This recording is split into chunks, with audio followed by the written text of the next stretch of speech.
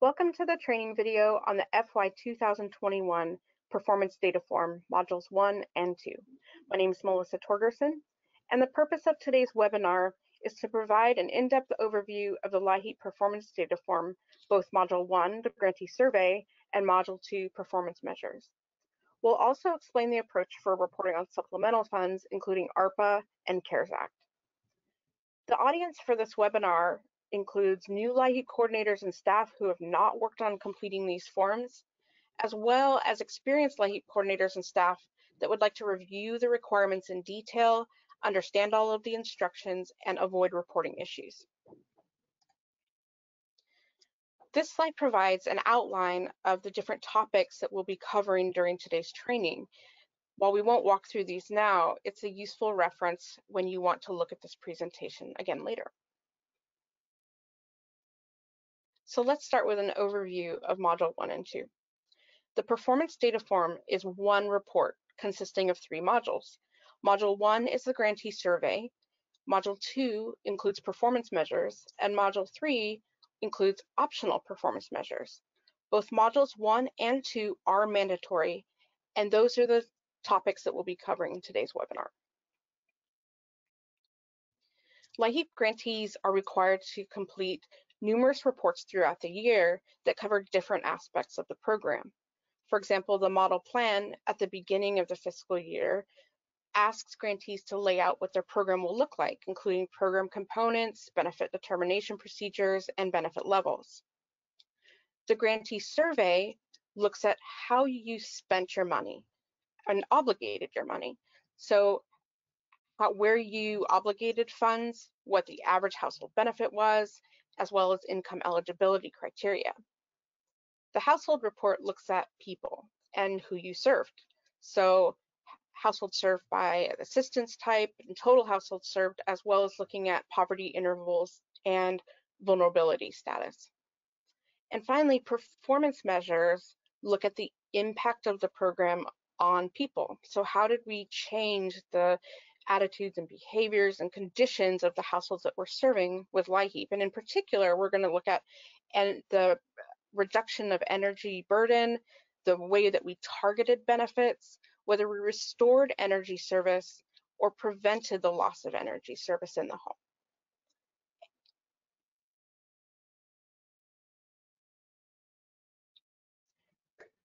Hi, so everyone. Oh, Sorry, Melissa. Hi, everyone. My name is Connor Priest. I am a policy analyst at Apprise. I've been helping to work on these reports for about three years, and I'm going to be helping Melissa um, a little bit with this training video today, a few portions. Um, right now, I just want to cover right up front some of the major changes that uh, have been implemented to both the grantee survey and the performance measures.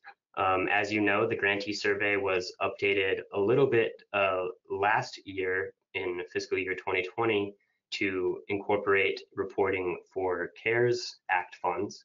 Um, and this year, with the introduction of ARPA funds for fiscal year 2021, HHS has opened up lines that were reserved for reporting on one additional supplemental funding type and grantees are now going to need to report information on all three of the different federal funding types that they've gotten. So that would include your regular LIHEAP funds from your usual annual block grant or your reallotment funds.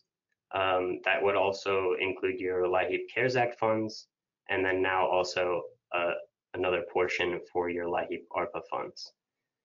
And besides the additional reporting for ARPA, OCS has also made some other minor changes to the performance data form, and we're going to cover those in more detail as we go through our line by line.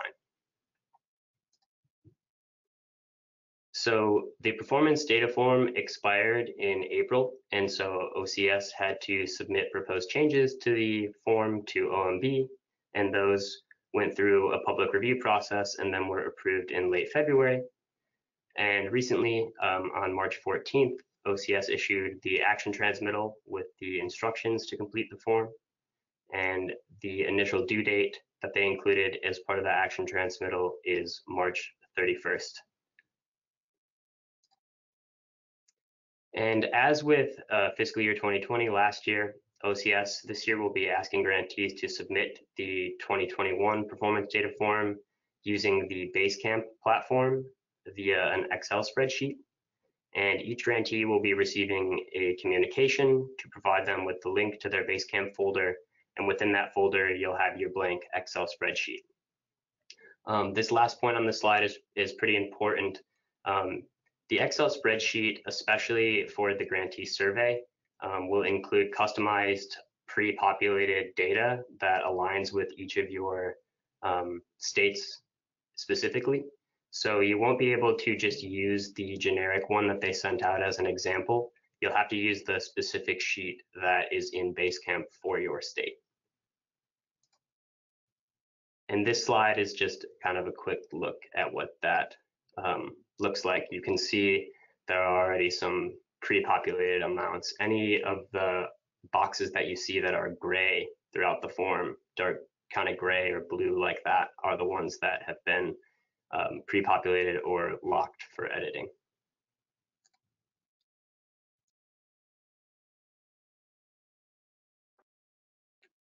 So now let's walk through an overview of Module 1 of the Grantee Survey. So the Grantee Survey is a report that's been around a while and it focuses on grantees' uses of funds by assistance type. There are really three types of data that need to be reported in this form. The amount of funds obligated to different LIHEAP components like heating or cooling, the average LIHEAP benefits provided to households, and the maximum annual income limits for a four-person household. The grantee survey provides a snapshot of how LIHEAP funds are used each fiscal year how benefits are being distributed to households, and how grantees are setting eligibility criteria. So the first part of Module 1, the grantee survey, is all about sources of funds. So this collects and reports data on the sources of LIHEAP funding that were available to your state in FY 2021. If you think of this like a checkbook or a bank account, this is looking at the deposit and sources of funds should include all federal funds designated for LIHEAP in FY 2021, as well as prior year unobligated funds that were obligated in FY 2021. In this particular form, sources of funds include FY 2021 LIHEAP block grant allotment, these are your regular funds, FY 2021 reallotment funds, the CARES Act allotment, the ARPA allotment, as well as any FY 2020 unobligated funds carried over to FY 2021. There are some things that do not belong on this form. For example, federal funds designated for LIHEAP that were obligated in prior fiscal years. So for example, some of you may have obligated uh, funds in FY 2020 but not spent them until FY 2021 that doesn't matter because we're only looking at obligations. So those funds that have already been obligated prior to 2021 would not go on this form. Funds that were dedicated as set-asides to Indian tribes or tribal organizations. And so these are funds that are given directly to tribal entities in a state from HHS, as well as non-federal funds. Many of you leverage other state funds or fuel funds um, to use in conjunction with LIHEAP. However, these dollars um, do not belong on this form. Um, only CARES and, and ARPA funds from the federal government would belong on this form. So some of you may have gotten CARES or ARPA from your state, um, and those would not would not be included.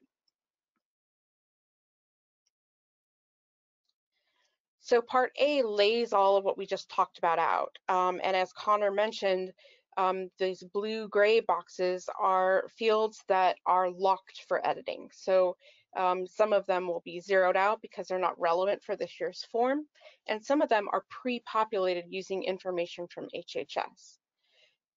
Only three lines are actually relevant for 2021, the block grant allotment, reallotted funds, and funds carried over from the previous year. Lines one and three are pre-populated using information from OCS records and prior reports. And although they're locked to prevent editing, you should double check these against your own records of allocations and allotments from the federal government to make sure they're correct. And if you believe they might be incorrect, you should contact Apprise for assistance in unlocking these cells to fix them. Line five is also pre-populated and based on your carryover uh, report that you submitted for FY um, 2020 and 2021. But it's not locked uh, because we know that some people kind of true up this number um, at the end of the year after that form has already been submitted. And so um, it allows you to edit this number to be more accurate.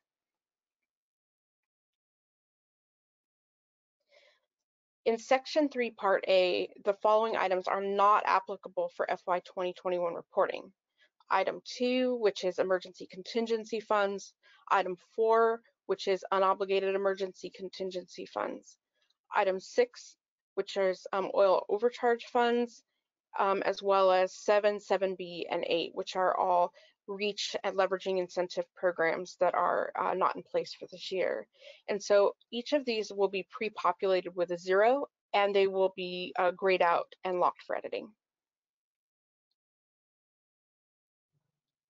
So next we have section three, part B, and this section is actually just one line, and that is uh, to provide a sum of your sources of non-supplemental funding um, that have been appropriated by Congress and awarded by OCS. And um, this will just be a sum of items one through nine above in part A. And this field will be um, grayed out and locked for editing, but you should just double check it to make sure that the math there aligns with what you see in your fiscal records. So moving on to part C, this includes three lines for reporting supplemental LIHEAP funding sources or categories that were appropriated by Congress and awarded to you by OCS. And um, this is where you're going to be reporting information on your LIHEAP CARES Act and ARPA allotments.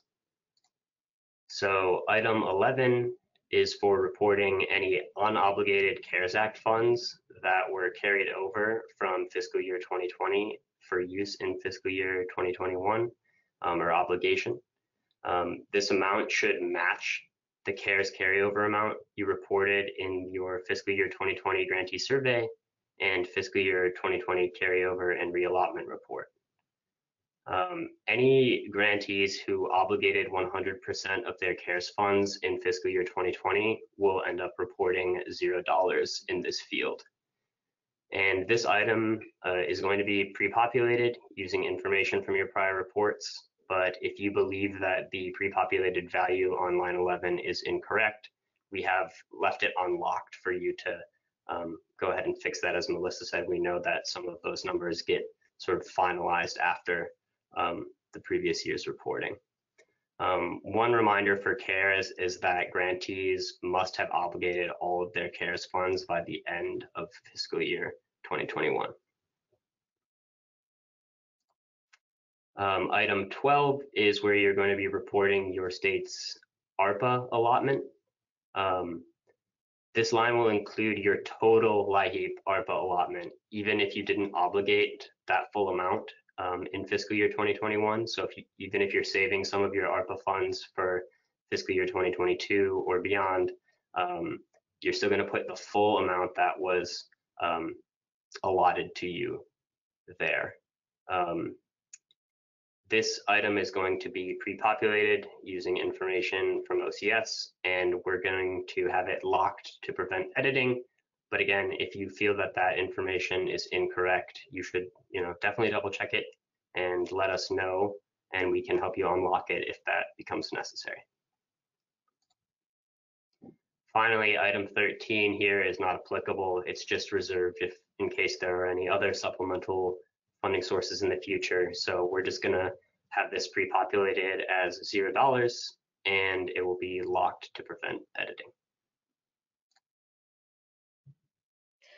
So let's talk about section four of module one, which is estimated uses of LIHEAP funds. So just as the sources of funds talked about the deposit, the uses of funds is going to be essentially talking about our withdrawals. So how did we um, how did the funds go out of our program and, and, and into our state or community. Uses of funds should include all federal funds and awards that were obligated during federal fiscal year 2021 for use in LIHEAP. For FY 2021, this includes all federal funds obligated during FY 2021, even if they were expended later, say in FY 2022. Unobligated funds from FY 2020 that were carried over and obligated in FY 2021, and unobligated funds from FY 2021 being carried over for obligation in FY 2022. It's important to note here that the definition of obligation is um, set by the state or the grantee. And so you might want to visit that to make sure that when you're reporting on obligated numbers, you're using the definition that's been set out by your, your state or tribe. Uses of funds should not include the following. Funds that were obligated during FY 2020 even if they were expended during FY 2021. So for example, you may have obligated FY 2020 LIHEAP funds for weatherization, but you didn't weatherize homes until FY 2021. Funds available during fiscal year 2021 that were not obligated by the end of fiscal year 2021 and will be returned to OCS. So um, in some cases, you may have not obligated funds in excess of the allowable carryover limit. And so um, those funds would uh, not be included in your uses of funds section. And then non-federal funds, such as leveraged state funds or fuel funds. Um, so even though these are often used in conjunction with LIHEAP, um, only LIHEAP dollars uh, should be included in this report.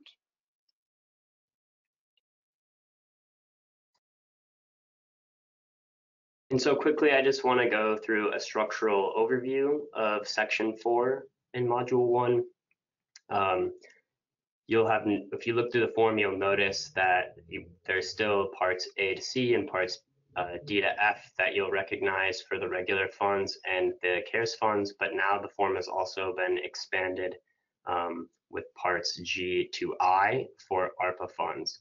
So basically what you'll see is three sort of identical almost uh, sections.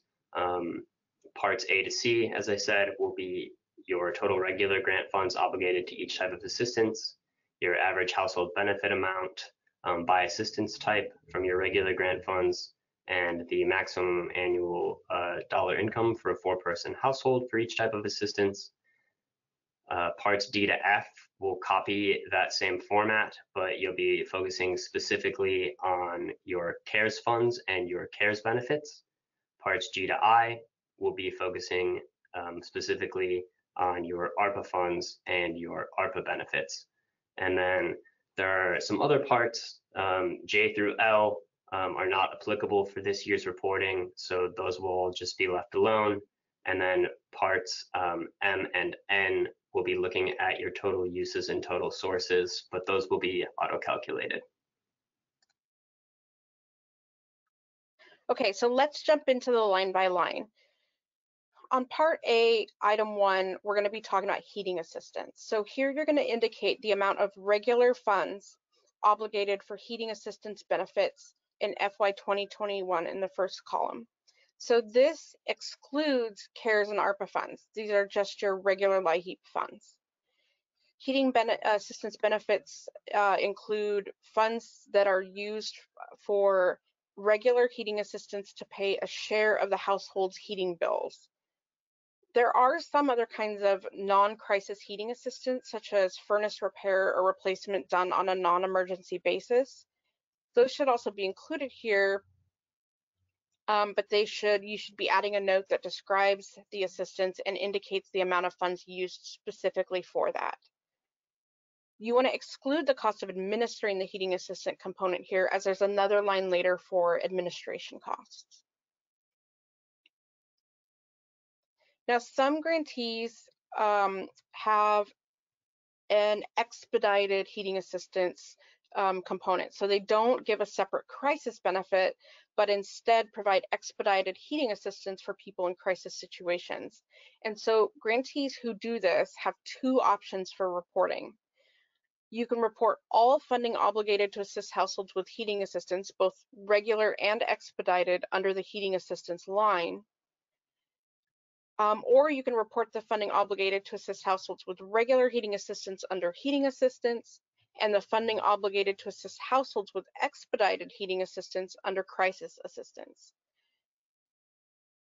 Regardless, what we want to know in the notes is how many households received expedited heating assistance and were reported under um, item X. This is really um, this is really important, especially when you go to look at your data after this report's been submitted and you say you report out on actually you call it a crisis benefit even though it's an expedited heating benefit it's going to be really important for us to be able to tell the difference between what you considered a crisis and what you considered heating. So that note is extremely important, if, especially if you're going to include all of those benefits in one line.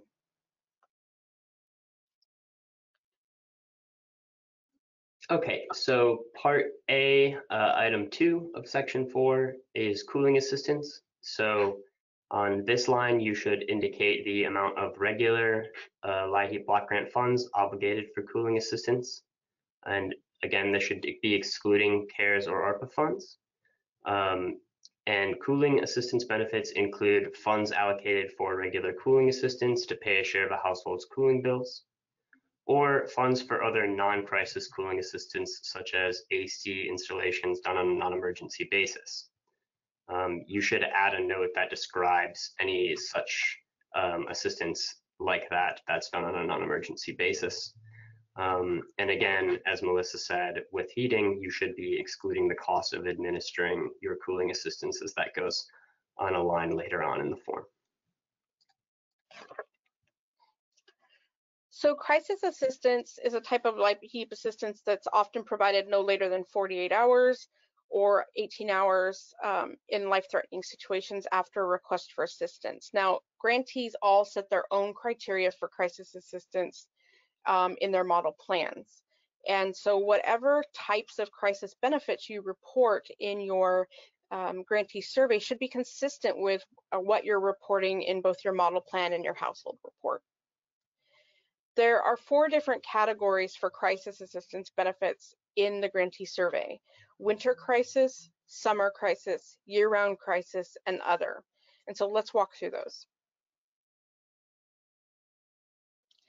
In Part A, Item 3A, Winter Crisis, the funds that should be reported in this category are any funds obligated to delivering winter crisis assistance to households. And typically, this includes crisis assistance provided under the same timeline as the state's heating assistance program. However, as we mentioned before, your own state defines um, what each crisis um, component looks like and the criteria for it. So um, you need to use those same criteria consistently across your model plan, your household report, and this um, section of the performance data form, the grantee survey. You'll want to exclude the cost of administration, as we've mentioned before, that belongs in another line in the report. And some examples of winter crisis assistance may be bill payment assistance after disconnection or disconnect notice, emergency fuel delivery after running out of fuel or due to imminent risk, or in some cases, crisis assistance is used to cover um, a benefit that is higher than a regular assistance uh, matrix will allow.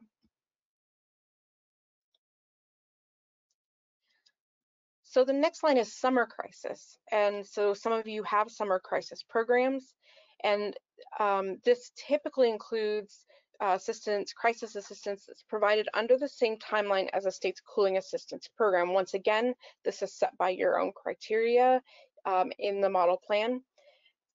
You'll want to exclude the cost of administration as that belongs somewhere else in the form. And examples of summer crisis assistance could include bill payment assistance after disconnection or disconnect notice, or once again, to help pay a bill that may be over the maximum allowable um, benefit for regular cooling assistance.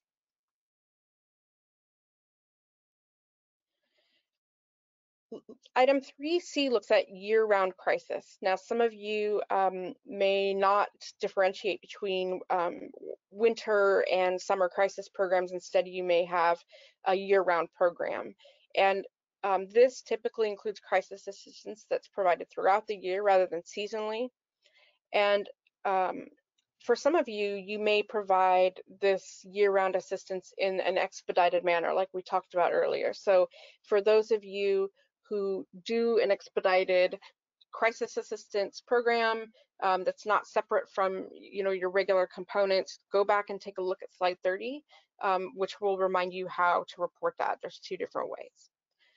You'll want to exclude the cost of administration and once again uh, examples of a year-round crisis assistance might be um, emergency fuel delivery after running out of fuel or due to imminent risk of running out of fuel or bill payment assistance um, when a household is facing a disconnection um, notice.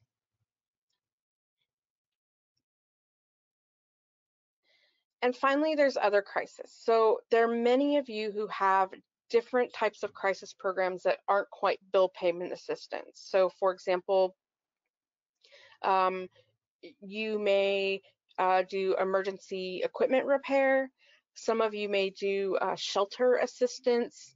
Uh, we've we've seen lots of different options across the nation of the way that people uh, deal with or handle crisis situations. And so this section is really for those those things that don't fit anywhere else. And what you'll want to do is um, report these under each line one, two, and three. They'll be auto-calculated in that top other crisis line, which is why it's blue and grayed out. You'll want to include a brief um, uh, a name of the program and a brief description on the line if possible. You'll want to report any funds obligated to delivering that type of other assistance. And um, any emergency furnace repairs and replacements should be reported on their own line. You'll want to exclude the cost of administration. And if there's something that you think we need to know or context that we need to have when reviewing this form, please include something in the notes.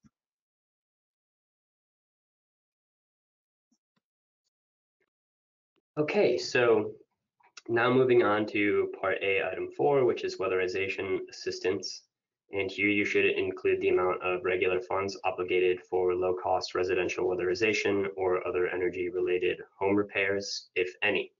Um, you should exclude the cost of administering the LIHEAP weatherization assistance component, um, and you should include any weatherization funds that were used for other non-crisis assistance um, you should definitely be adding a note that describes any such assistance um, and indicate the funding amount um, for those non-crisis weatherization assistance down in the notes section of your form. Um, and another really big important point here for the weatherization line is that you should be reporting regular federal LIHEAP funds only. Um, in the past, some grantees have incorrectly reported both LIHEAP and Department of Energy weatherization funds together. Um, we really are looking only for your LIHEAP funds that were used for weatherization here. Um, and if you obligated any CARES Act or ARPA funds for weatherization, you would exclude those. Those aren't going to be reported in Part A. Those will be reported either in Part D and or Part G.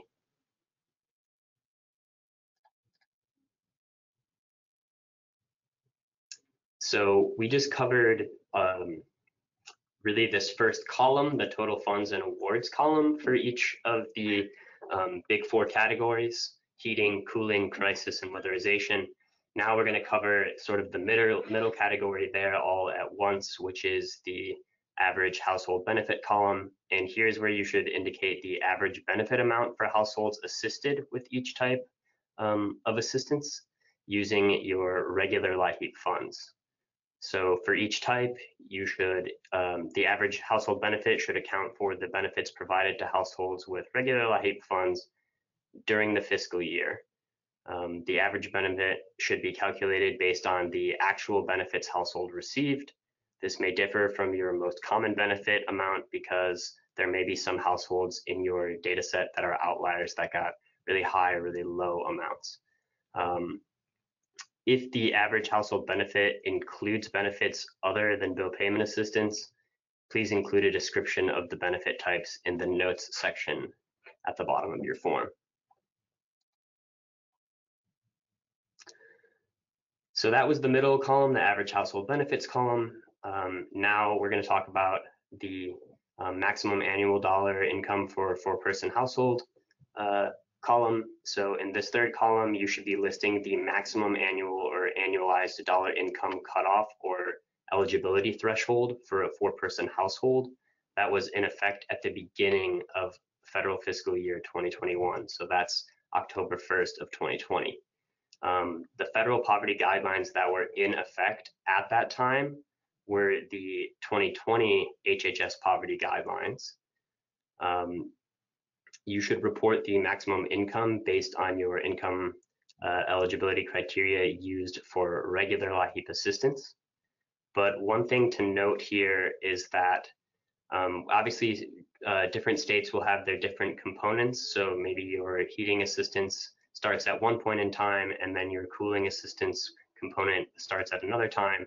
Um, if any of your components are starting after the release of the 2020 HHS federal poverty guidelines, then you may choose to use the um, 2021 guidelines for that assistance component in your report. But if you do choose to use those updated guidelines, we would just ask that you indicate in the notes section which um, assistance component um, those uh, updated guidelines were used for.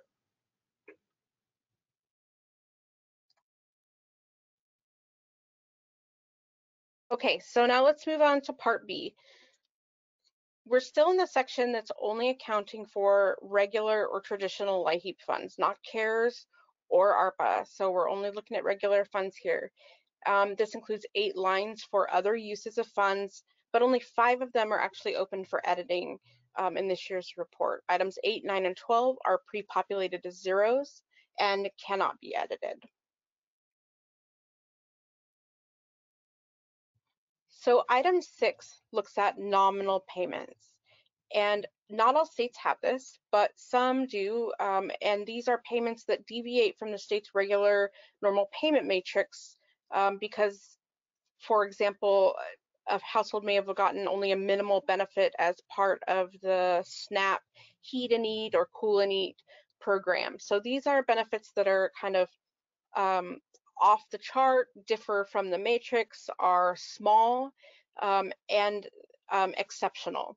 And so only a few states actually um, do this. And um, for the rest of you, you can leave this as a zero. And for those of you who do have it, uh, when you report nominal uh, payments, we'd like you to include a note that explains what those are. So was it a heat and eat uh, SNAP partnership payment or, or something else? Line seven is where you should report the total amount of unobligated funds uh, that you're going to carry over into the next year. So um, just like a checking account, um, you carry funds into the month and you sometimes move funds, hopefully move funds from um, the current month into the next month. And that's what this is looking at. Are there unobligated funds that you're waiting to obligate until FY 2022? The LIHEAP statute allows you to do this for up to 10% of um, your regular funds. So I can basically not obligate up to 10% of my funds in the year that I get them and wait to obligate them until the following year. And that's where this line comes um, into play. So um, uh, if for some reason you have over 10% of unobligated funds, so over 10% of your FY 2021 allocation has not been obligated, anything over that 10% has to be returned to um, the federal government and is not included in this form, as we mentioned earlier. So um, what that's going to end up resulting in is a, is a discrepancy between the sources total and the uses total. Um, and so that discrepancy, that difference would be the amount that you're going to end up sending back to, to OCS.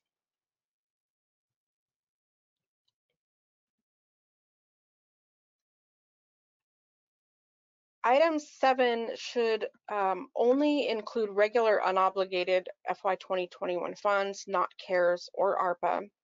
Um, it should not include funds that were obligated in FY 2021, even if they weren't expended. So as we've mentioned in previous webinars, um, and your state definition probably points out, obligated is not the same as expended. These are funds that have maybe been allocated to your or contracted out to your local agencies or tied up in other contracts that you're working on, but maybe not expended. That should not be reported here because it's still considered obligated. So this is why looking at your state's definition is really important uh, to understand um, how much of your money is actually obligated and should be reported in other lines of this form. Um, it should only include funds carried over to FY 2022. So if your state returns or needs to return excess obligated funds to the federal government, because say you went over that 10% limit, they shouldn't be included in this line. You only want to include what you're actually carrying over um, anything in excess of that that needs to be returned to the government won't be included in this form. And as I mentioned before, excluding returned funds from item seven will cause estimated total uses and sources of funds to be different because there's a discrepancy there. Um, you're, you're having to send some money back to OCS. Uh, and if that's the case, what we'll want to see is a note explaining that. And um, the difference that you see between sources and usage should equal the amount of money that you returned to HHS.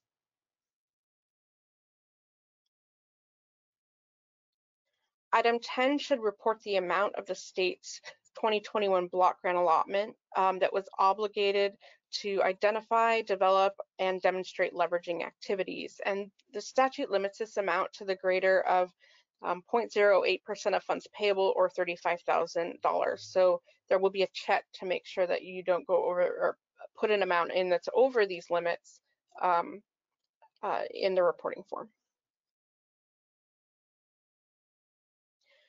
Item 11 should report any regular FY 2021 funds obligated for Assurance 16 activities.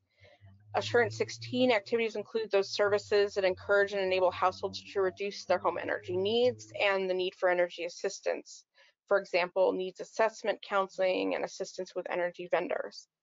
The LIHEAP statute limits this amount to 5% of funds payable, so the amount in this line should not be more than 5% of your LIHEAP allocation.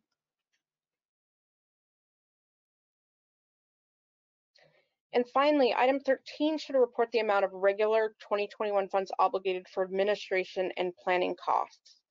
So this should include all state and local administration and planning costs um, or, or, money obligated to um, administration. And this should include both direct and indirect costs charged as administration and planning. And just as with obligations, what your state defines as administration versus program um, is flexible. And so you'll need to pay attention to what your state has defined as administration to really understand what should be included in this line.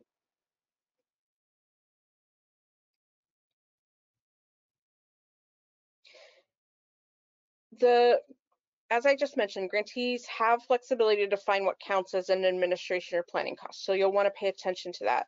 It's also important to remember here that the LIHEAP weatherization assistance component there's a cost to administering that as well. And any administration um, used to administer that component should also be included in this line, not in the weatherization line. So um, that's an important thing to keep in mind.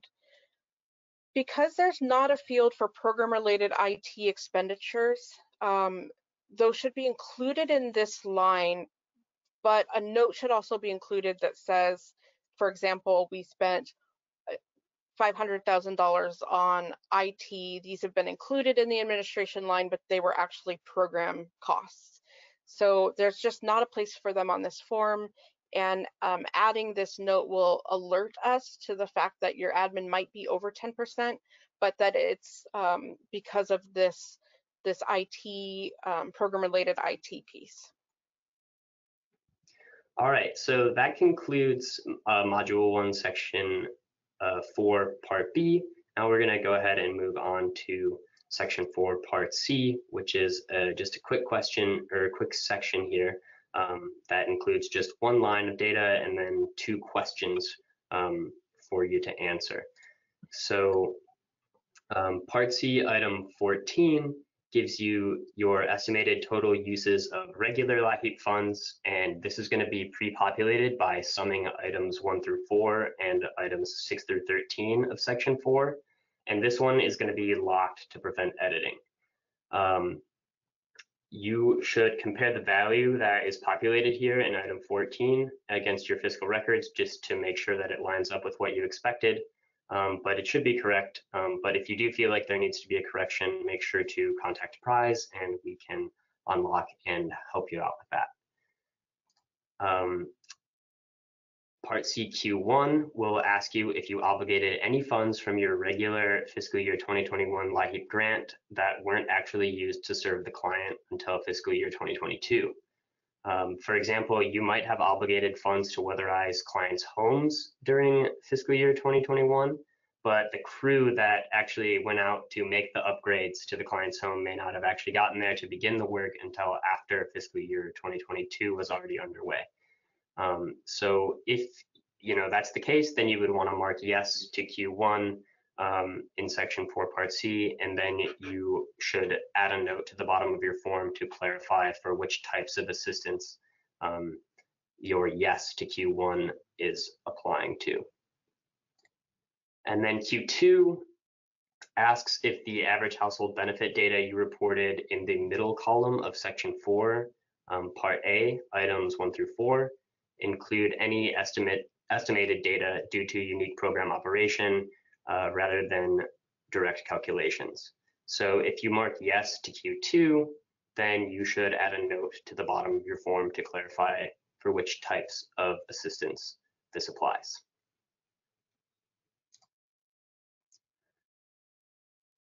And so we just went through line by line everything that's going to be in Module 4, Section 4, Parts A through C, um, and that's for your regular uh, block grant funds. Um, section four parts D, E, and F are for reporting your uses of CARES funds in fiscal year 2021. And you're going to use the exact same procedures that we just went through line by line um, for part A, B, and C, except that your total funds and awards, your average household benefit, and your maximum income dollar for a four person household here should focus only on your CARES funds. Um, they should not include um, your ARPA funds or your regular block grant funds. And one note here is that all CARES funds needed to be obligated by the end of fiscal year 2021. So part E, item 21 should be $0 for all grantees. And parts G through I are for ARPA funds, and this is really the same spiel that I just gave for the CARES funds. You're going to use the same line by line procedure that we just went through for part A, uh, B, and C, um, except for the fact that your awards, your benefit amounts, um, and your maximum dollar income cutoffs are going to focus only on what was relevant with your ARPA funds, not your regular funds and not your CARES funds. And then one thing here is that we know that some grantees did not obligate any of their ARPA funds in fiscal year 2021. Um, we know that many of you were saving these um, for use in fiscal year 2022 or maybe even beyond. And so if that's the case, if you didn't use any funds, um, then you would report your full amount of ARPA allocation on the carryover line here, which is item 32. So before we move on to module two um, performance measures, I want to make sure that um, we reiterate this is very dense material. It's challenging sometimes to really get a handle on it after looking at slides or listening to a webinar. And so with any of the material that you see in this video, we encourage you to reach out to a prize or your OCS liaison with any questions uh, that you have. And we'll, we'll reiterate that again at the end of this video and provide contact information, but I wanna make sure that we, um, that we, we say that loud and clear. So with that, let's move on to module two, performance measures. And we'll start with just an overview. The performance measures for LIHEAP have been submitted by state grantees since 2016 um, in Module 2 of the LIHEAP Performance Data Form. And these measures provide good information on the impact of um, of our program. So we talked about before, you know, the household report talks about who we served and the grantee survey that we just went over talks about how money was obligated and used. But this talks about how the program is transforming the lives of the people that we help. And so some of the um, things that need to be reported in this form include average annual income, benefits, and energy bill amounts, occurrences when LIHEAP assistance restored lost energy services, as well as occurrences when LIHEAP assistance prevented the loss of service.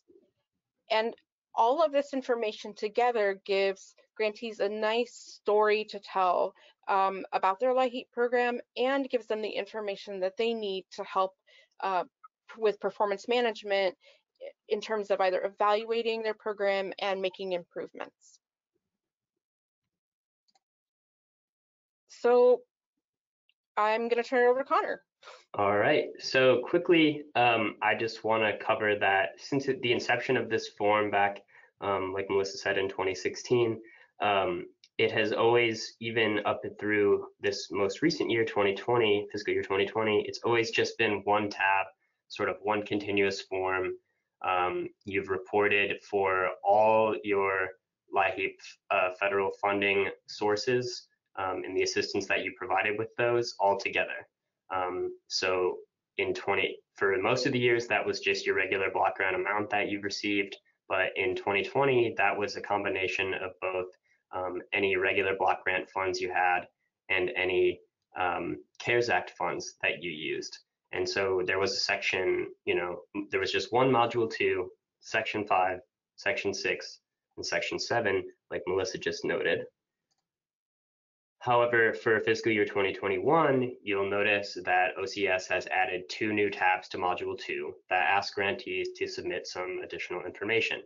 So 2A, like we just said, that's going to still be the same procedure you've always done. It's going to be all of your households who received any type of LIHEAP assistance, no matter whether that was um, your regular block grant, your CARES, or your ARPA, or some combination of those. But when you go to the second tab here, module 2B, that's going to ask you to identify and filter down to the subset of households who received only CARES benefits and then produce the performance measure summary statistics. And then module 2C is going to ask you to filter to the subset of households who received um, ARPA benefits and produce the performance measures summary statistics. And so some households will be included um, in multiple tabs, perhaps if they received a benefit that included both regular funds and CARES or regular and ARPA or CARES and ARPA. Um, but this does not actually mean making any new additional vendor requests. Um, instead, it just means that uh, within your combined program data, you're going to be identifying and filtering to those CARES and ARPA populations. And then you're going to be focusing on those benefit amounts that came from CARES and ARPA in those tabs to produce those same statistics. Um, and we'll cover that in more detail in the next few slides, but um, we just wanted to show you here that you can find and navigate between all three of the Module 2 tabs at the bottom of the Excel spreadsheet. And so here I just want to give you a little bit of a visual of what I just showed. So um, this will probably be more helpful for folks when they're reviewing, going back and reviewing the slides, but um, this is exactly what we just showed from before. Um, this is module 2A now. It's going to be all your federal funds. So for section 5, um, you're looking at your average annual income, average energy bill amounts, total LIHEAP benefit among households that have 12 months of billing data collected. And then section 6, occurrences where LIHEAP restored lost energy service. And section 7, occurrences where LIHEAP assistance prevented loss of service. Module 2B, you can see the CARES folks are a subset, or 2B is a subset of 2A, but you're reporting a section 5, a section 6, and a section 7 for that subset. And then um, there's going to be 2C, which again is a subset of 2A. um, but there's going to be a section 5, a section 6, and a section 7. But like we said, um, any household that is in the 2C subset will also be in 2A. Um, same with 2B, they'll also be in 2A, uh, but you, they could also potentially be in both 2B and 2C.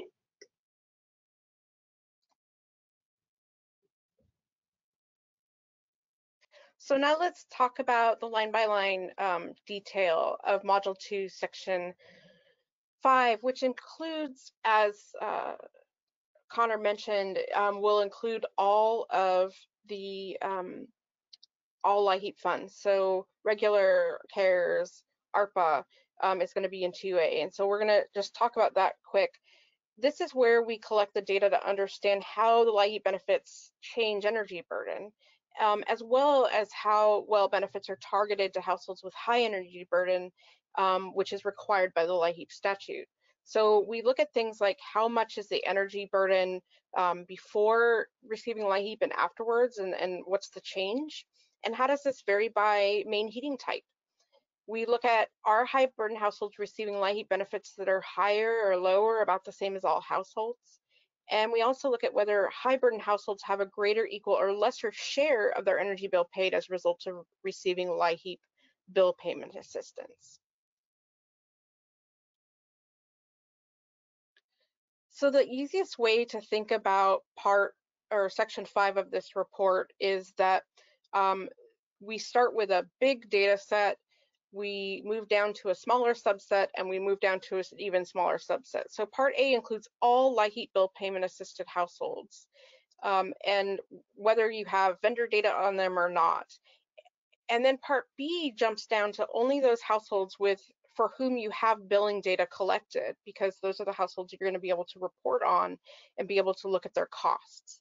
So we know that there's a significant difference in many um, with many grantees between the big number of households in Part A um, and sometimes um, the much smaller amount of households in Part B. We know that there's a drop off there.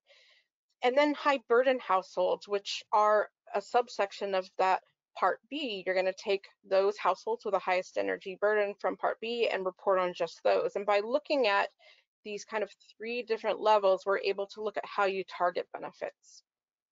And I guess what this really spills out is that um, these aren't unique data sets. Part A is all your households. Part B are is a section of those households that have billing data.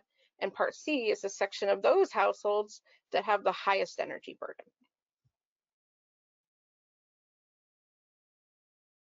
Okay, so now we're gonna start to get into the line by line for module two and the different sections and the different parts. I just wanna note that we're gonna be um, doing the line by line specifically for module 2A, which is all the funds.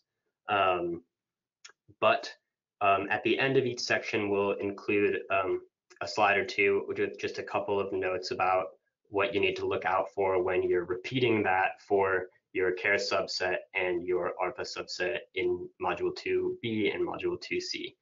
Um, so we'll start with the um, line by line for um, module 2A, section 5, part A, which is what is highlighted in red here. It's just one line.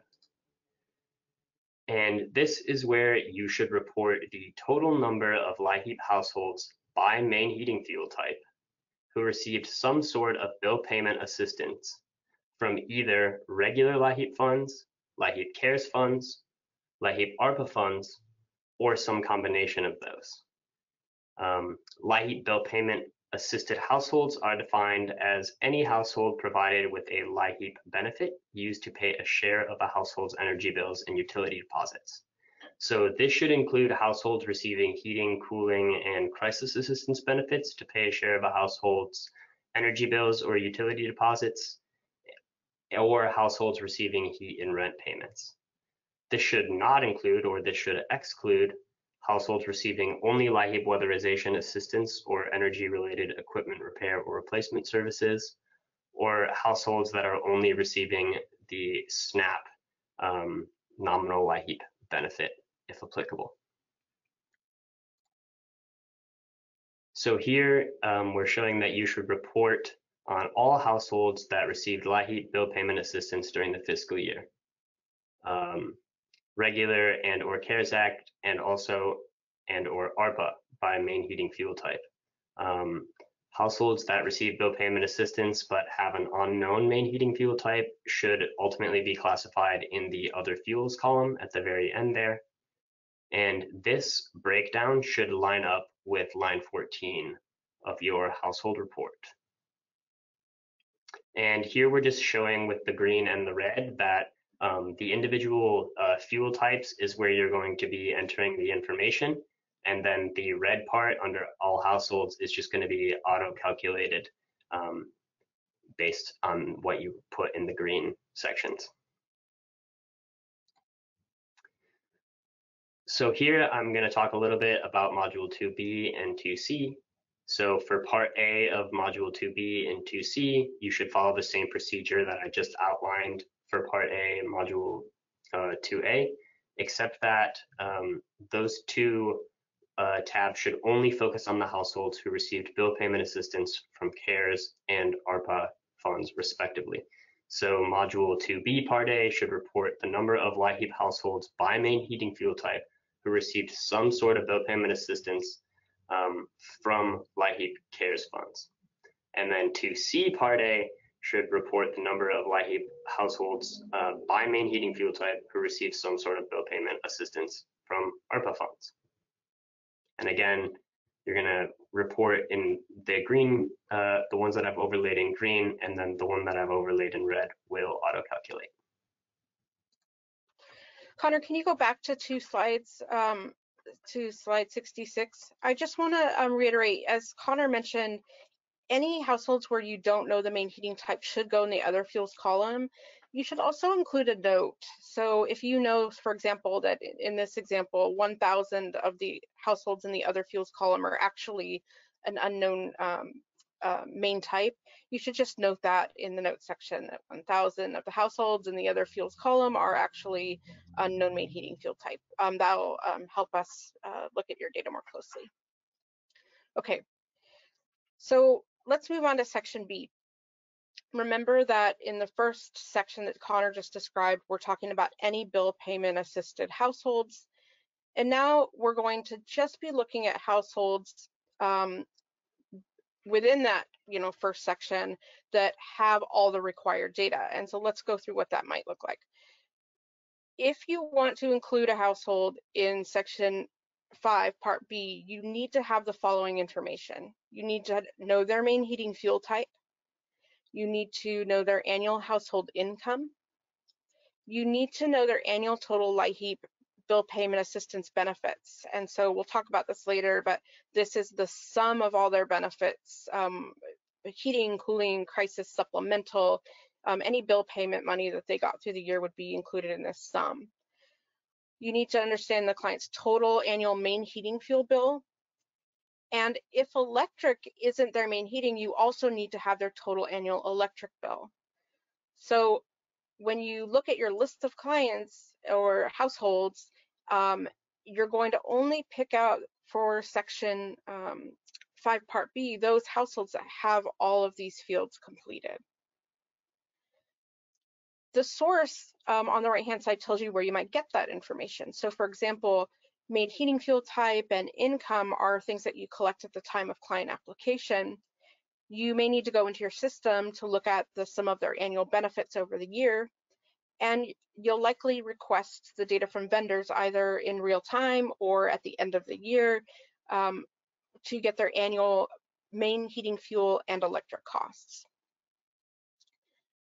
Grantees should uh, follow the following steps to request and collect vendor data. You'll want to identify the top energy vendors for each fuel. And right now, um, the guidance is that you need to be requesting fuel uh, cost information from your top five gas and um, natural gas and electric vendors. And this means the, um, the, the top five who served the most households and then the top 10 from your fuel oil, propane, and other types of fuel.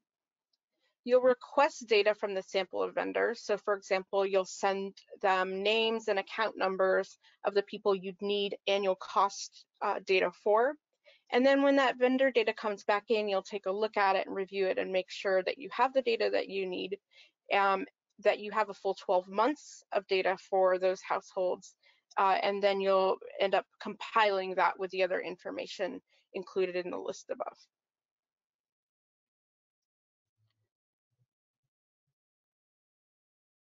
So since all of these data come from different places, you're going to need to combine all of this data together to form a single data set.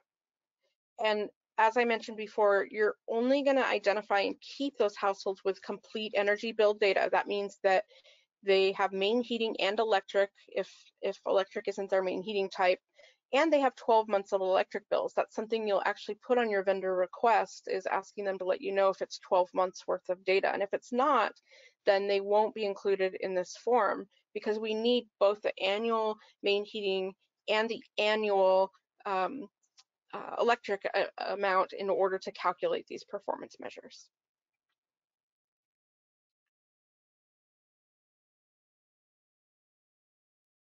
Okay, so now we'll move into the line by line. And again, we're going to be starting with focusing on 2A, and then I will clarify any special considerations you need for um, 2B and 2C.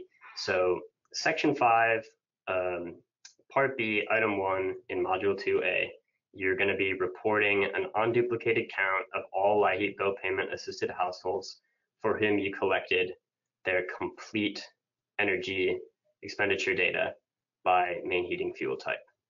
And again, um, what's overlaid in green here is where you'll be reporting, you'll put in each, the value for each individual main heating fuel type, and then the all uh, column will automatically um, auto calculate.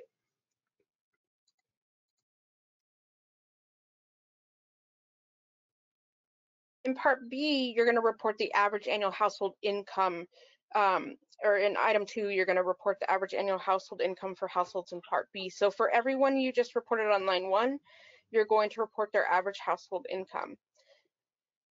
And this includes households with very low or zero income. You're going to report the gross household income. Some of you actually use net income to calculate um, a determine a, a household's benefit, but for reporting purposes, you should always be using the gross household income. And it's important that you remember to verify that you're using the annual income amount. Many database systems or LIHEAP data systems actually uh, require the intake worker to put in a monthly amount. And so sometimes that's what it kicks out in the data. And so pay attention to that and make sure that you're actually getting annual um, amounts in for each of the heating fuel fuel types on line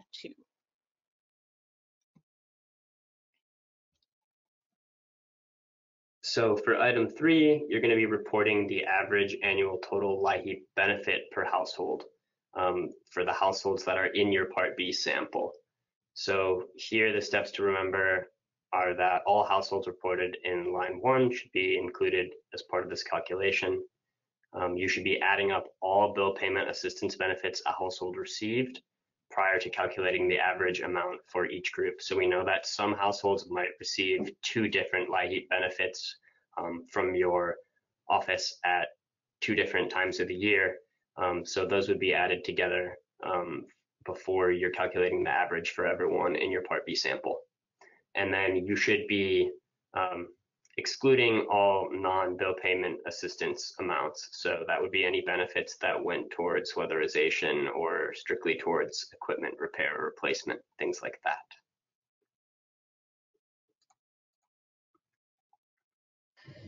In line four, you're going to report the average annual main heating bill for households in the Part B sample. So remember that the data is collected from a sample of energy vendors. There are some um, there are some grantees who collect it from all of their vendors, and that's great, but you're only required to get it from those top five and top 10 vendors uh, for each heating type. This should include all required customer payments, such as monthly service charges, usage charges, and taxes, but it shouldn't include optional charges. So some people have on-bill financing for, say, a furnace or a water heater or whatever it might be. Those things are optional and should not be included. But anything that the customer is required to pay um, should be included in the annual cost provided by the vendor. For electric main heat households, the electricity bill is the main heating fuel bill. And so it should be reported on this line, not on the electric line. So that's an important distinction to make. In item five, you're going to report the annual electricity bill for households in your in your Part B sample.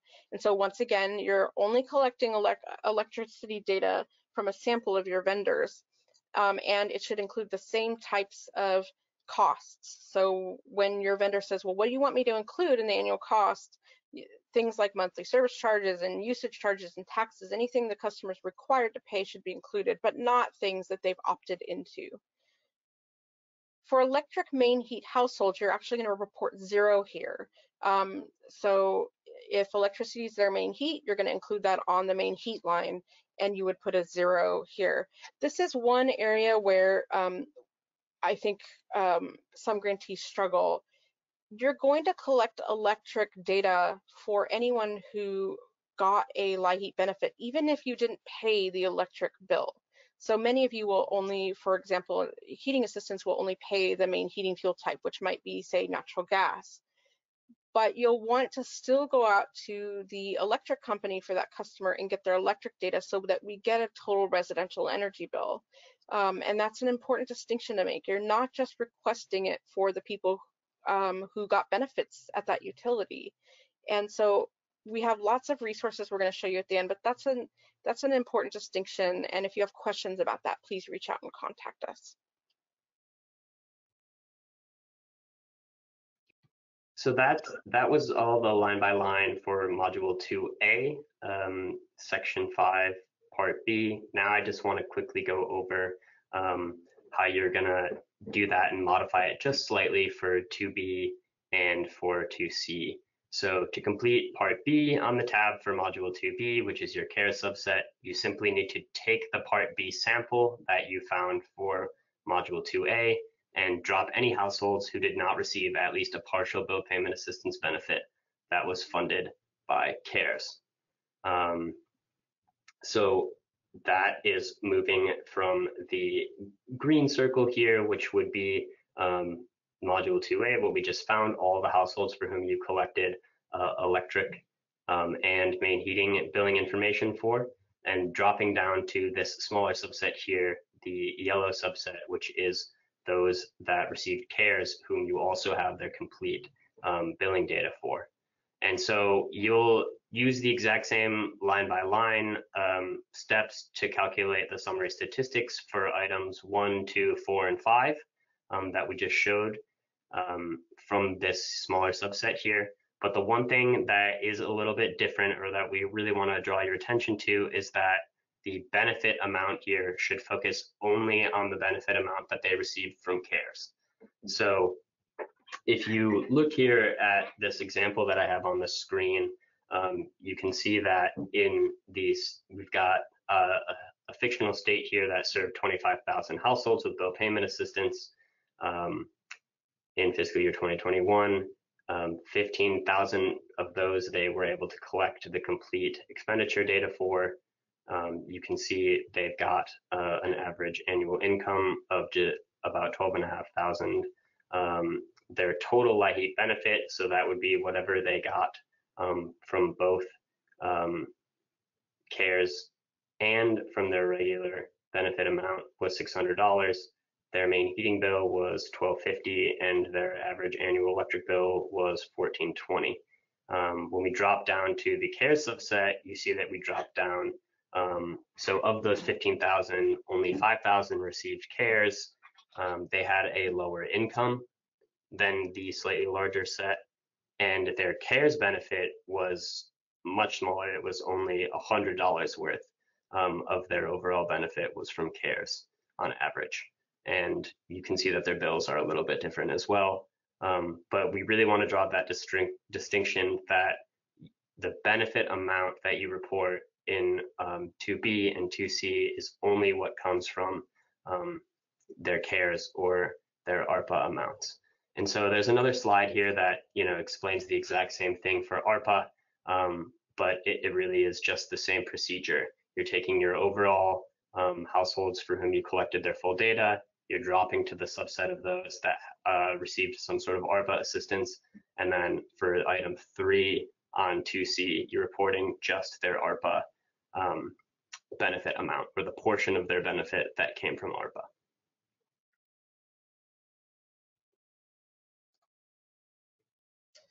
Okay, so you've reported the total number of bill payment assisted households. You've then taken out of those households just the ones that have complete billing information. And now we're going to take one more subset. Out of section B, we're, we're going to pull those households with the highest energy burden and run the same data. So let's just talk about what that looks like. Module 2A, Section 5, Part C reports the same information as Part B, except that the Part C sample will be limited to just those highest burden households. So for, for the performance data form, high burden has a specific definition. You're going to take the top 25% of households from Part B with the highest calculated energy burden, and those are the households that will be used to calculate the statistics in Part C.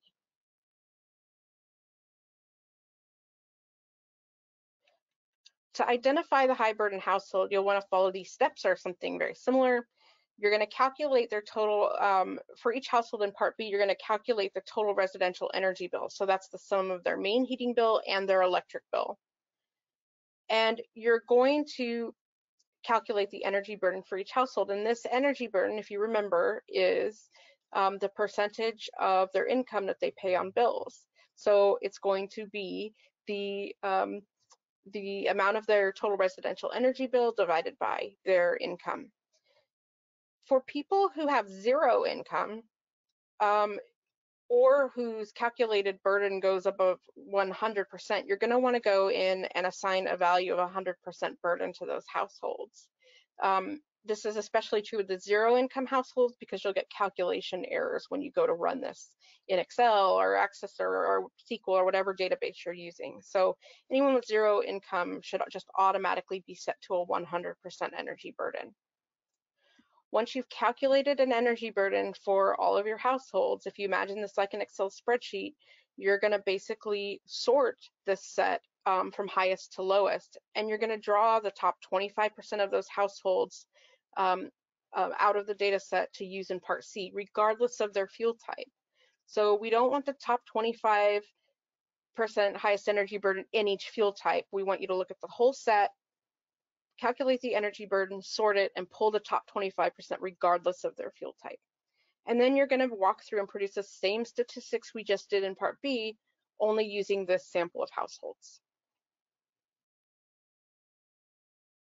So this is a nice picture that shows you um, exactly what you're doing. Step one, you're going to calculate their um, total residential bill using both their main heating and electric bills. Um, step two, you're going to calculate their energy burden, which is um, their uh, annual bill divided by their annual income. For those households with zero income in step three, you're going to actually go in and set them up automatically with a 100% um, energy burden so that you don't get that um, mathematical or uh, error when you run this report. Step four, you're going to sort them. And so you can see that these have been sorted not based on main heating fuel type or anything else other than energy burden. And it goes from 100% down to 6%. And then you're going to take the top 25%. In this case, that's the top two. Um, and um, those are what you're going to use in part C of the report.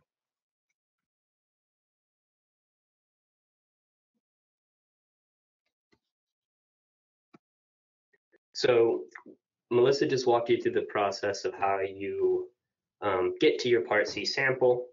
And then once you have that, you should go in and complete um, Module 2A, Section 5, Part C, items 1 through 5, um, using the same line-by-line -line instructions as were used for Part B, items 1 through 5. They're the exact same um, I guess, statistics. It's just that now you're calculating them with that more restricted high burden sample, your Part C sample. And again, I've got visuals here to show how you would do that for um, CARES and for ARPA. I'm not going to go fully into that here. I think it's more useful to read what's on the slide here um, than it is to try to walk all the way through it again and again. But really, the the core process um, that we want to reiterate is that for 2A, you're taking all your households, you're figuring out which ones you've got full billing data for, and reporting that in Part B. Then you're going to narrow down to your high burden households and report that in Part C. For the ARPA um, funding, you're going to take all the households that you serve with ARPA. You're going to figure out which ones of those you got their full billing data for, and then you're going to figure out which ones of those um, were your 25% highest burden, and then the same thing for CARES. Um, so go ahead and look through these, um, but I'm going to go ahead and just move on to uh, Part D or give it to Melissa to do Part D.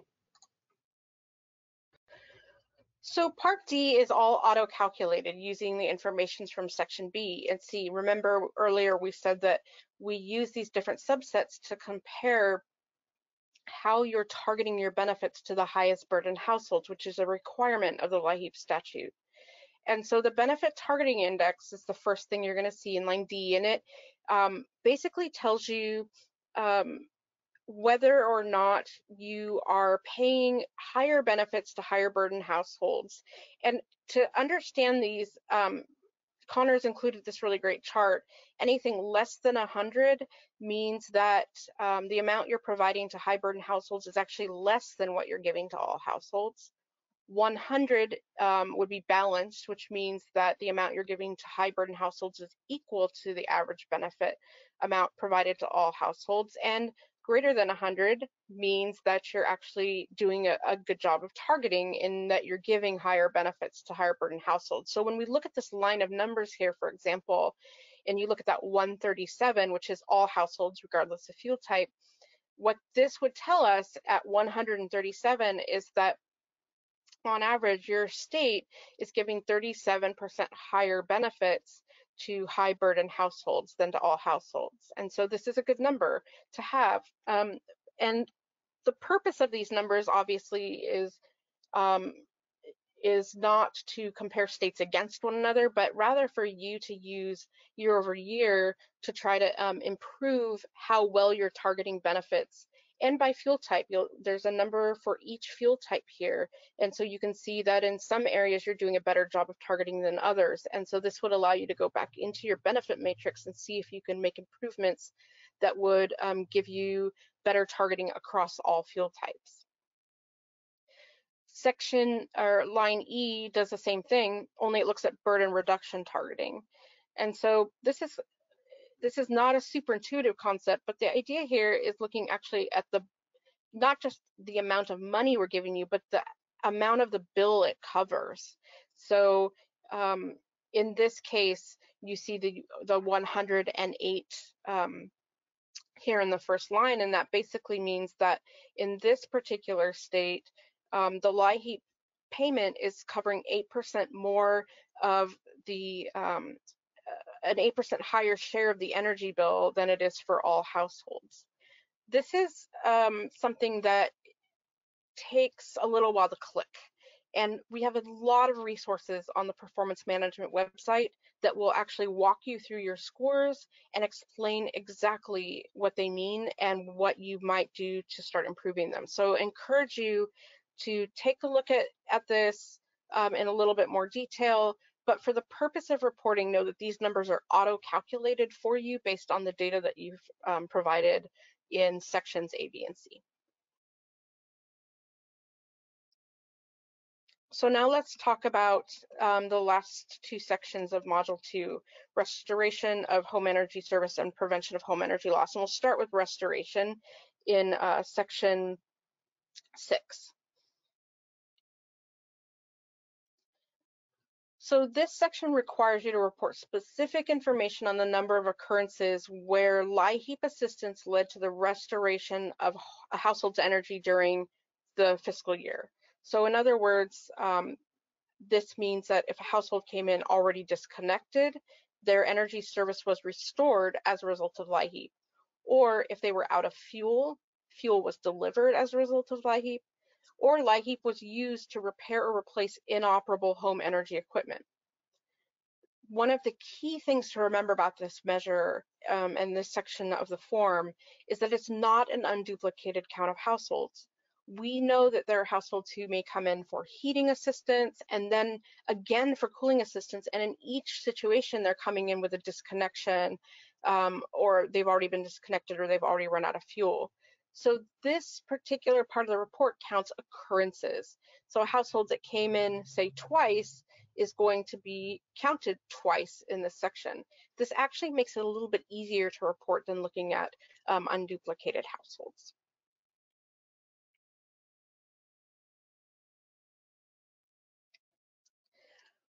So if we go line by line, this is where we're going to report the number of occurrences during the fiscal year in which a LIHEAP assistance led to the restoration of households energy service after disconnection. That's what we're going to be looking at on the first line. And so these are electric and natural gas households because they're utilities. You're going to report based on the fuel source where the LIHEAP benefit was applied. So unlike the previous section where you're going to report the households in their main heating type, regardless of whether the where the benefit was applied. This is actually the opposite. You're going to report where the benefit was applied. So um, this means that if I'm a, natural gas customer, but it was my electric that LIHEAP paid to keep me from getting disconnected, I'm going to be counted in the electric column.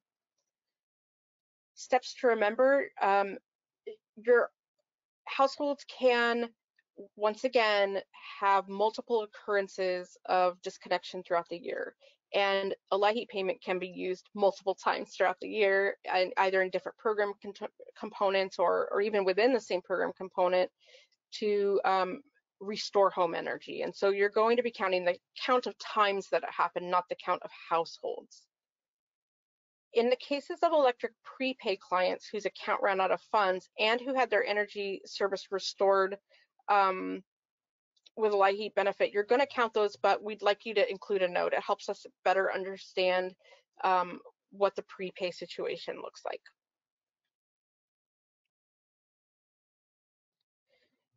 In section six, item two, you're going to be reporting the same things, but for this case, you're going to be reporting it in the, it's, a, it's all about deliverable fuels. So this is where LIHEAP assistance resulted in the delivery of fuel after the household had already run out. And once again, this is a fuel source where the LIHEAP benefit was applied, um, where the LIHEAP benefit was applied, not necessarily their main heating, heating fuel source for the home. And you're going to include each occurrence of um, of the LIHEAP benefit that um, restored home energy.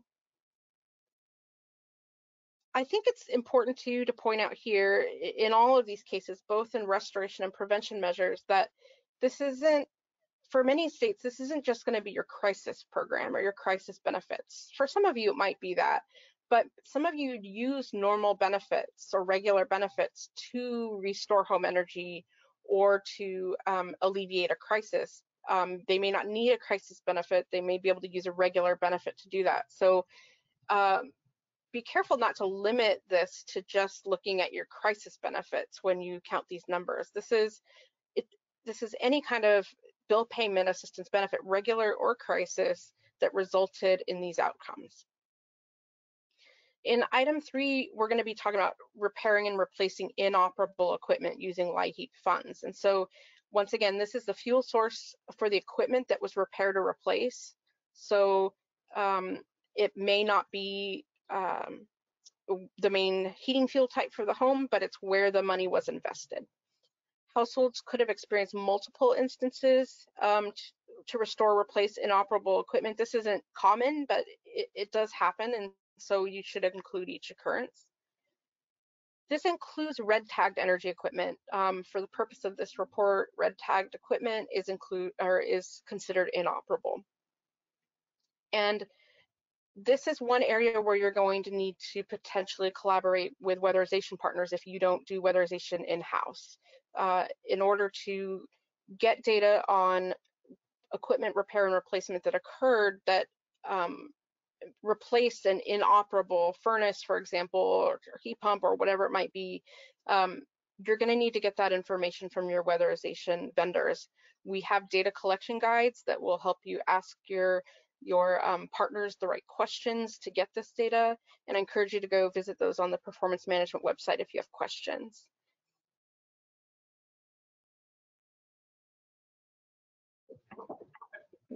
Okay, so I'm going to quickly go over, Melissa just walked us through all the steps you need to do um, Module 2A, Section 6. Um, and so I'm going to talk a little bit about the additional tabs, Module 2B um, for CARES and Module 2C for ARPA. Um, so just like Section 5, there were no changes made to the actual process um, and procedures for the section um, but you will still need to go in and do those additional tabs where you're filtering down um, just to the subset of for 2B, identify and filter to the subset of households who received CARES benefits and produce the restoration summary statistics for that subset. And then for 2C, identify and filter to the subset of households who received ARPA benefits and produce the restoration summary statistics for them.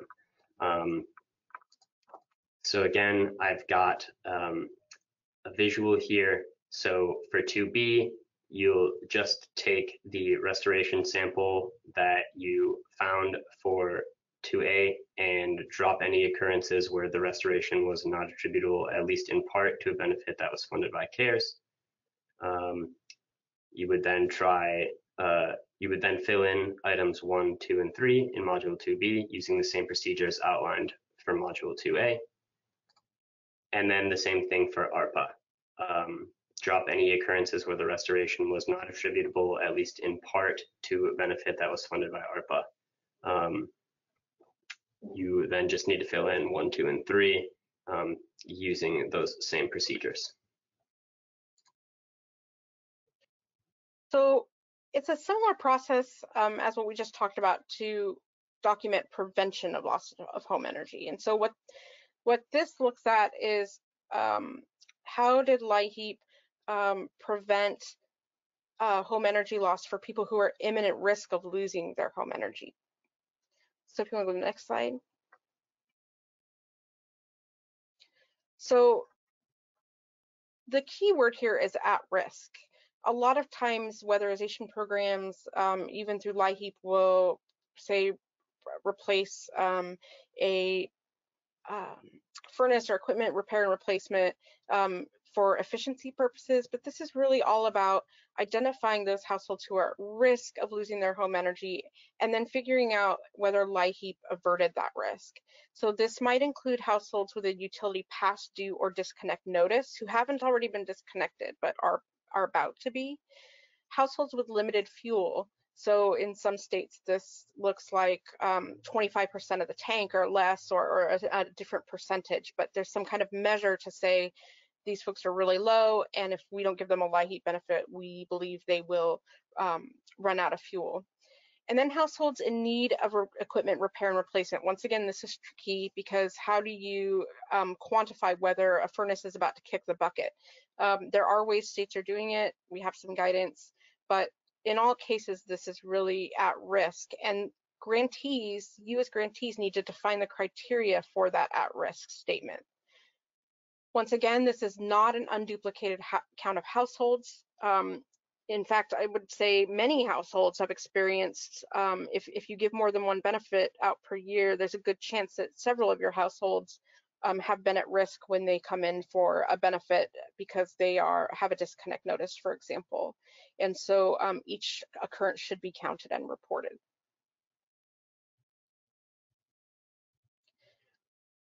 So in item one, this is where we're going to count utility um, disconnect or past due notices. Um, in this case, you're going to report based on the fuel source where the LIHEAP benefit was applied, the number of households um, where LIHEAP um, averted that risk and, and prevented a home energy loss. You're going to include each occurrence and you're going to exclude households that have already been disconnected. They should be counted in the previous measure. For prepay households, you're going to count those households whose accounts were low on funds uh, and who received a LIHEAP benefit that prevented the loss of their home energy service. A quick note here, there are some grantees who early on in this reporting process said, well, everyone that comes in our door is at risk um, because they're low income and energy bills are tough to pay. And while that's true, this is really looking at imminent risk. So that's why we've we've clarified by saying um, a past due or a shutoff notice um, are really good indicators for uh, for someone who uses electric or natural gas and is at imminent risk of having their uh, energy of losing their home energy. The next line looks at deliverable fuels, same concepts, just looking at different fuel types, fuel oil, propane, and other fuels. You'll want to um, uh, report based on the fuel source where the LIHEAP benefit was applied.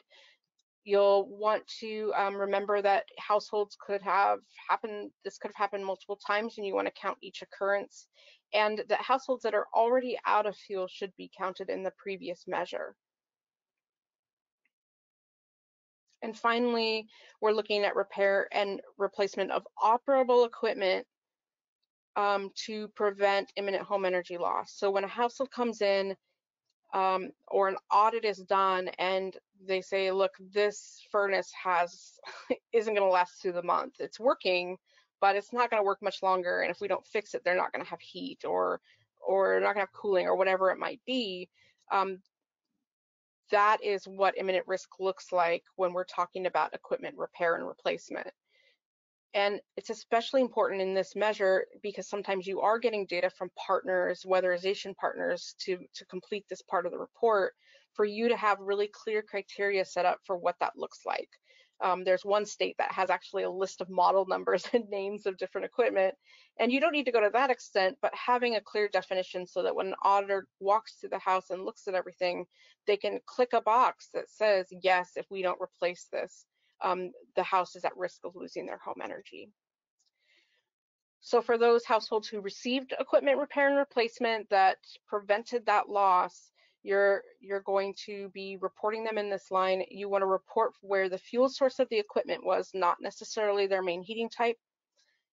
Once again, it's not common that you see multiple occurrences of equipment repair and replacement through the year, but it can happen and they should all be reported exclude repair and replacements of red tagged energy equipment. It's considered inoperable and should be included in the other line. And um, once again, getting this data might include coordination with your weatherization partners or, or departments in, in your state. And so you'll want to work closely with them to uh, identify the data they need to provide you and what they should be looking for when they um, when they're compiling their data or looking at households. So I mentioned earlier there's a data collection guide on the performance management website that helps walk you through the prevention and restoration uh, criteria and how to get this data from partners. And I encourage you to take a look at that if you'd like further information.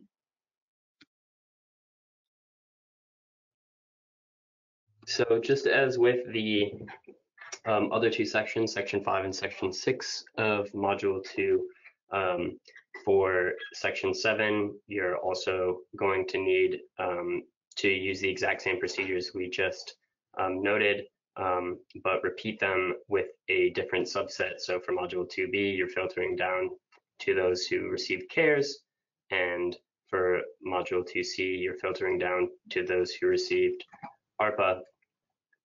So um, you just need to take the prevention sample that you found for module 2A and drop any occurrences where the prevention was not attributable, at least in part, to a benefit that was funded by CARES um, for um, 2B.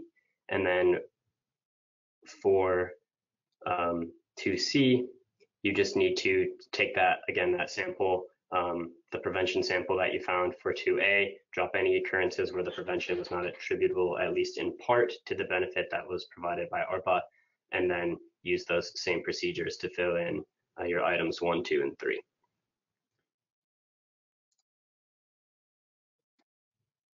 So now let's move to the summary.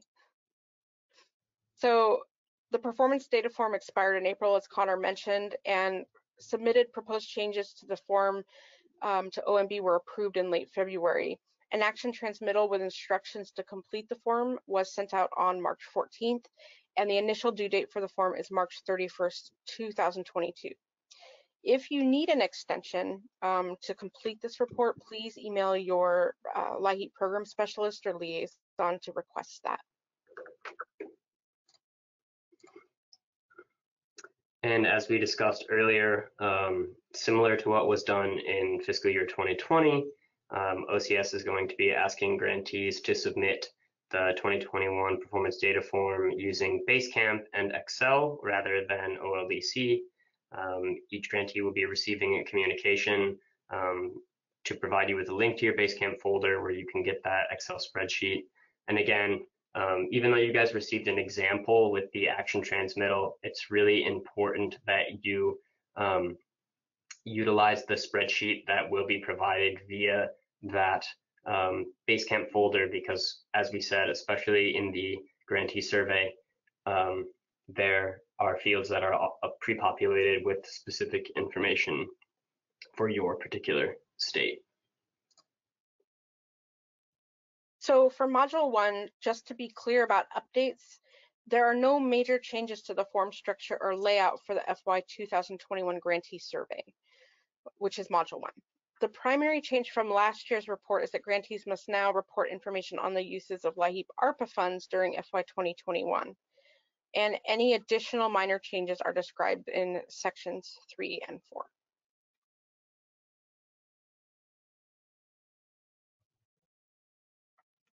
And for module two, in terms of updates, um, the general process, again, has not changed.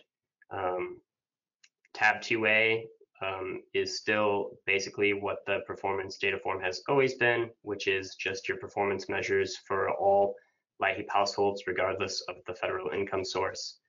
The only uh, change is that you're going to be repeating the process that you did for tab 2A um, in tab 2B, but filtering only to CARES households and using only benefits that were provided by CARES. And then in 2C, you're going to be doing the same exact process as for 2A, but you're going to be filtering only to households that received ARPA benefits and focusing um, for benefit amounts only on the amount that came from ARPA. As we've mentioned throughout the webinar, there are many, many resources available to help you with reporting, including an entire required report section on the performance management website, a check before you submit document that actually allows you to go through and look at some of the validations that Apprise does when they get your report um, so that you can make sure your numbers are correct, as well as past data, performance um, data form 18 instructions and poverty guidelines.